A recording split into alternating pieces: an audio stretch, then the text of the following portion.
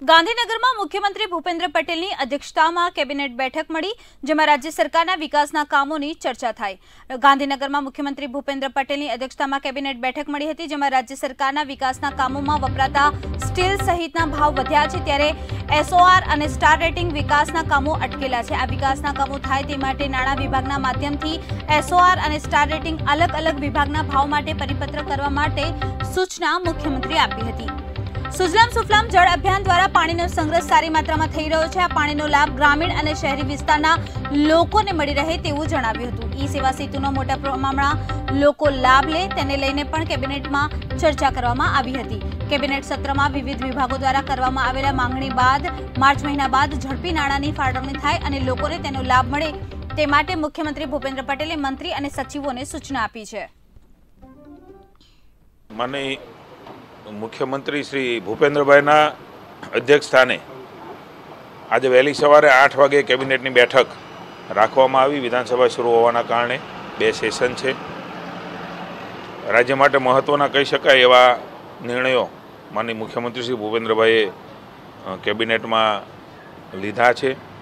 ખાસ કરીને આપણે સૌ જાણીએ છીએ કે સ્ટીલ અને મટીરિયલના ભાવ વધવાના કારણે નવા એસઓઆર અને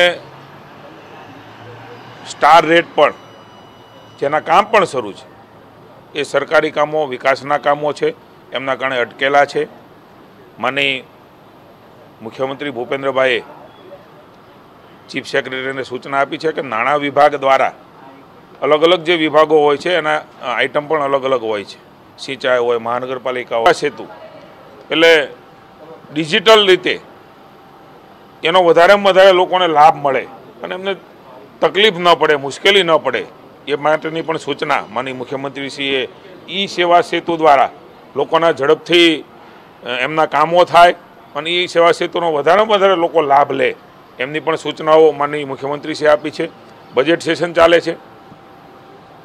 અલગ અલગ વિભાગની માંગણીઓ કે લઈને માની મંત્રીશ્રી આવે છે ને પસાર પણ થઈ રહી છે. ત્યારે એક આગોતરા આયોજન કે મુખ્યમંત્રીએ મુખ્યમંત્રીશ્રીએ એક દીર્ઘદ્રષ્ટિ વાપરીને આજે કેબિનેટમાં સૂચના આપી છે. માર્ચમાં બજેટ સેશન પૂરું થાય એટલે તુરત જ જે એલોકેટ થયેલા વિભાગમાં બજેટના રૂપિયા છે, એનો ઝડપથી રાજ્યની જનતાની સુખાકારી માટે વપરાય. એના માટે એપ્રિલ મહિનાથી જ દરેક વિભાગો એમની તૈયારી કરે અને લોકોની સુખાકારી માટે જે બજેટમાં જોગવાઈઓમાંની મુખ્યમંત્રી શ્રી અને નાણામંત્રી કરી છે.